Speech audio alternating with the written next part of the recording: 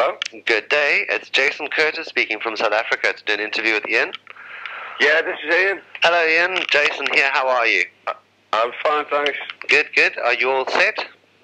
Yeah. Excellent. Well, congratulations. Oh, what, on the record or Liverpool football success? I think it's a combination of both, but uh, Yeah. um, I must admit I've been a fan of your music for, for I think far too many years than I think most people would admit to. um, oh, that's nice to hear anyway, even though obviously we can't admit how long we've both been fans, but um, oh, that, that's lovely to hear, especially from such a, a very far-flung place, you know. Yes. Um, were you from over here? um, originally, yes. Uh, Yeah. originally from Kent. When? How long have you been in South Africa? Um, good deal of my life, uh, pretty much most Yeah. of my life, yeah. But uh, my, my folks. You've got you, hmm you've got a kind of combination accent. It's not. It's not No, it's a, it's a mess. It's a mess. That was good. Yeah. That was very distinguished. Thank you. but congratulations on Flowers. Um, I was uh, very eager to get my hands on it. I've been listening to it for about the last two weeks, Oh, and um, and I must I must admit not to say that uh, um, you've ever sounded uh, not good, um, but this is Echo and the Bunnymen. I think as um, as everyone fondly remembers, but also um, I think is uh, it has the commercial potential to to hopefully get you right up to where you where you deserve to be. No, it's, that's nice. I mean, it's funny that is the, the recurring kind of reaction I think from from fans, uh, journalists. I mean, I've spoken to more journalists to be honest than, Mm. fans over the last few months, Mm. just because I've been doing lots of promo, Mm. and the, the recurring reaction is that it reminds them of in Japan, for instance, which is when I started the promo. Right. Um, well, I remember one of them saying, "This is why we fast for hard. I call it the bunny man." Yes, uh, did you understand that? That was my Japanese impression. It was very good. And it, it's kind of nice to hear that, you know, the because it's funny when you're so close to it. And the, I always hoped that the Bunnymen had more than one sound. I mean, Mm. that, that was our intention from the off, you know, to Mm. not not kind of be trapped into this into an, a, a debut album sound like Crocodiles. That's why Heaven Up Yeah. There became something else, Mm. and then you Porcupine something else again. Mm. But, but it is nice to know that after 20, how long? 22? Let's call it 20 years. Yes, let's. Um, Mm. that we've still got the um, that scouse Mm. wherewithal Mm. and scouse burning kind of desire not to. Basically, there's a there's a line on one of the songs "Buried Alive" which I, I kind of nicked from Dylan Thomas. Mm. Mm. He's not doing anything with it at the moment. No. and it's it's the rage rage against the dying of the light kind of Uh-huh. concept, you know. Uh, uh. And I do think, I think um, that's how we've always approached the Bunnymen. You know, we've never, we didn't come in with Crocodiles to say, look, we're a, we're a teenage rock and roll band. No, You know, no. it was obvious from that album that we were writing music that was kind of intelligent and and. matures, it's a crap word to use when Mm. it comes to, to music, but kind of a reflective, intelligent kind of Mm. take on rock and roll. Yes. And, uh, and I think by beginning with that, we have aged probably better than any of those groups. Mm. To the, Um, yeah, to the I- point that you can do what you're doing now. Yeah. Mm. Yeah, Mm. you know, and it's also, I haven't turned into um, some baldy, ugly bastard. No. If I can say ugly on. Is this a radio thing? No, no, don't worry. It's going into Oh, print. that's okay. Yeah, so I get to edit. Um, oh, now I know that I can say what the hell I like. Um, so I, I think it does help, you know, being able to front something and, and Mm. not. Particularly with this kind of music, there's a certain element of, of kind of romance or romantic kind Mm. of Mm. yeah, romantic noodlings, and um, and also it's kind of got a sexiness about it. Hopefully, our music. That Mm. if you start turning into Mark Knopfler, um, it doesn't really bless him. Yeah. come across that one. yes, true. But I mean, I mean, you're three years short, really, um, of uh, you know being uh, you know offered a spot at the in the Rock and Roll Hall of Fame, and you know you you Oh, you have to be 25 years? 25 years, yeah. Yeah. Oh well, but what we had nine years off. Will that count? I think I so. think I don't know. I think it would. I mean, look. I mean, if it's good enough for Aerosmith, it's good enough for you. You know. Of course. Yeah. but um, I mean, you, I mean, you you did phenomenal stuff, as you said with Echo. That I mean, to this day, you can listen to you know you can listen to Crocodiles, and it still sort of fits, um, and it doesn't Yeah. it doesn't feel like it it you know um, that it was it was done when it was done. Um, I mean, you did Electrafixion, you did your solo album. Yeah. Um, you did all of those things, and you've insisted on, on doing, you know, on doing things your way. I mean, to the point that Yeah. Cooking Vinyl were smart enough to, yeah, you know, to, to license the album. Um, but as I said, it, it's been you, you've had a phenomenal career up till now. Um, does it does it feel like you've sort of come, you know, that you that this is sort of a new a new extension?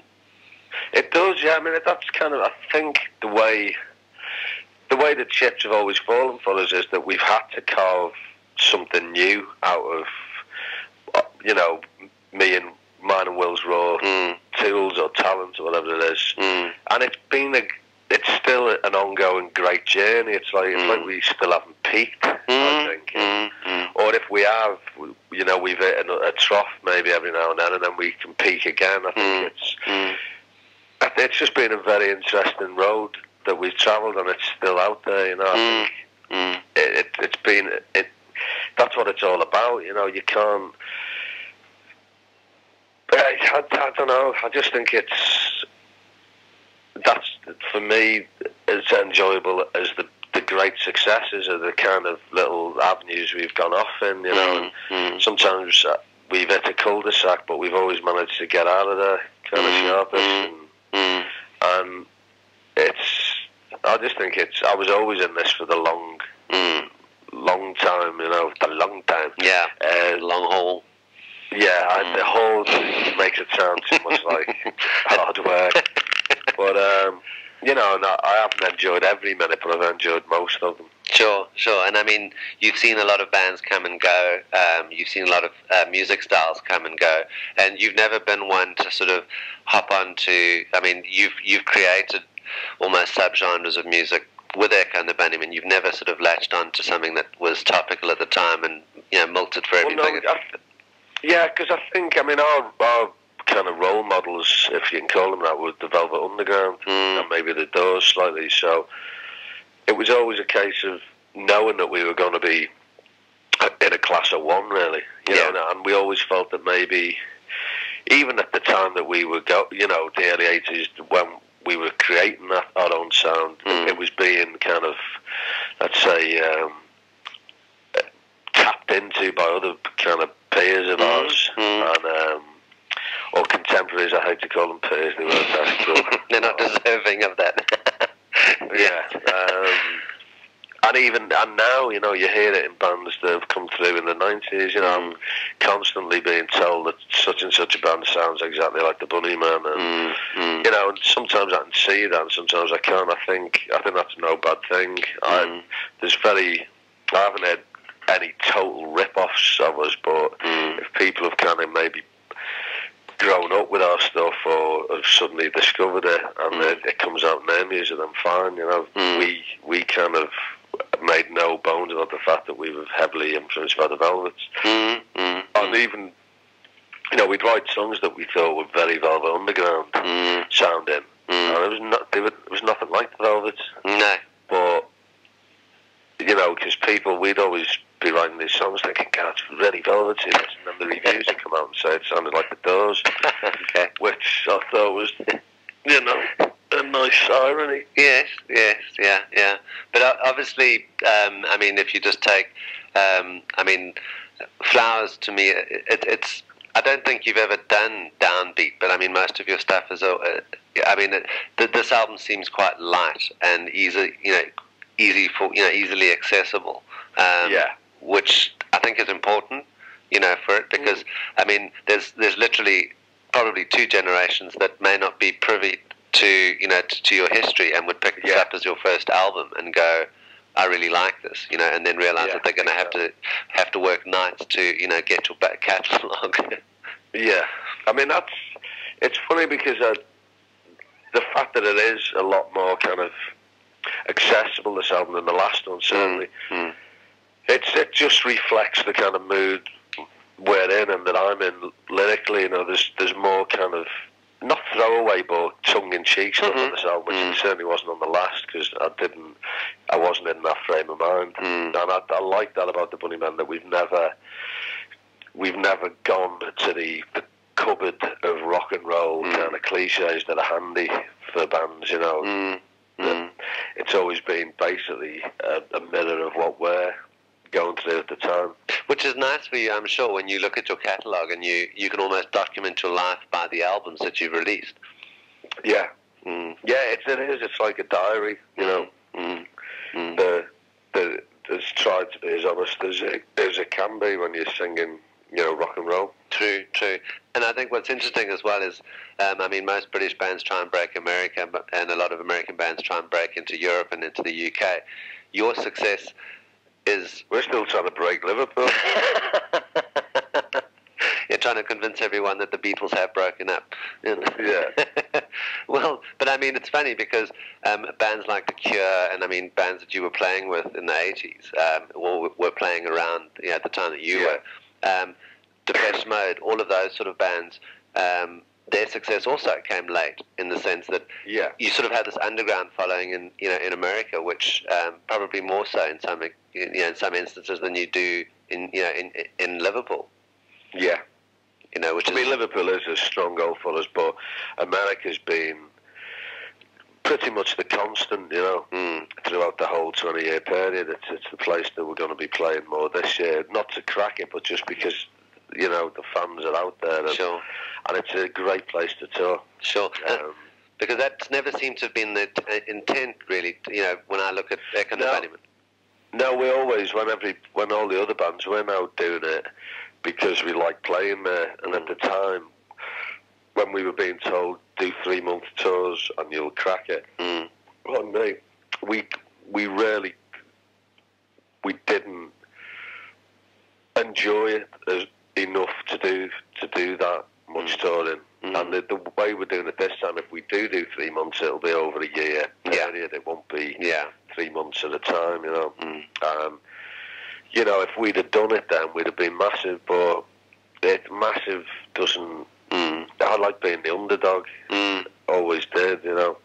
Well, I mean, it's Um, it's nice in a way because then you don't. I mean, then it still allows you to do what you want to do without sort of you know getting back to that whole bureaucracy. Yeah, I mean, if you set your stall out by saying we're not that kind of band, Mm, you know, eventually people will back off and stop trying to mould you into this. You know, Mm. Stadium Rock was the place that mm, if any band was capable of, of you know, playing stadiums and stuff and, and getting everyone in there to feel like they weren't in a horrible big venue, it was us, but it just it just seemed so pat. Everyone was doing it, and kind of it was it just didn't seem to be part of our agenda, you know. mm, certainly, born again Christianity had no mm, no place in Mm. our mm, you know, I, I wasn't against anything like that. We weren't born against saying this, but no, no. it just seemed a bit everyone was doing what they had to do to get on,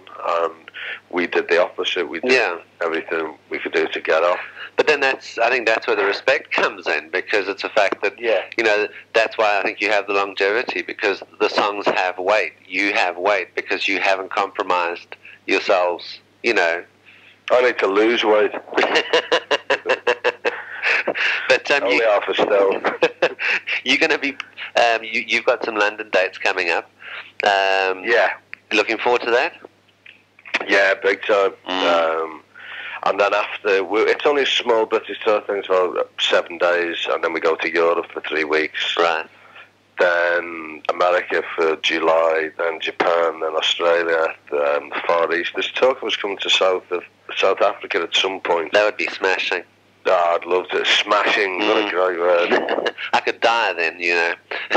Ah. Afterwards, not before. No. no, have you ever seen us? I have not. I have not. Ah, well, if just for you, Yes, please. the Come the, on. Yeah. the kind of please Jason. There we go. Um, yeah, and I know that you've got a, a quite a busy schedule this morning, so I think I should um, probably say my goodbyes as much as I'd love to chat. And I'm because I think you've got a list long. That's very considerate of you. You don't get that very often. Great, but um, thank you um, very much. It's been an absolute honour actually speaking well, to you. Uh, their pleasure is better than an honour. I'm just a, a, normal bloke from outer space. But you make great music, and that's what's important. Oh, thank you. And you, you're very nice to have a conversation with, and that's what this feels like it's been, rather than question and answer thing. But if you could put some pressure on me, if you know any promoters out there, I do, I do. Would, well, that'd be great. Yeah, and because we actually bought out. The. Sorry, we actually bought out um, one of your bandmates. We bought out the Violent Femmes last year. Oh, brilliant! So um, it's well, maybe suggest because mm. our agent is the agency, right? It's Neil Warnock at the agency. So if you mention mention that, right, and they can get, you know, let's let's get down there. Mm, mm. What's Neil's surname? Warnock. Warnock. Okay, got that. Now I'll pass that. I'll, I'll definitely pass that on to the label, and I'll push from my side. All right, brilliant, Jason. But and uh, hopefully I'll see you in South Africa. Yes, and enjoy it, as I say, and, and thanks so much for your time. Well, thank you. Take care. Cheers. Bye now. Bye.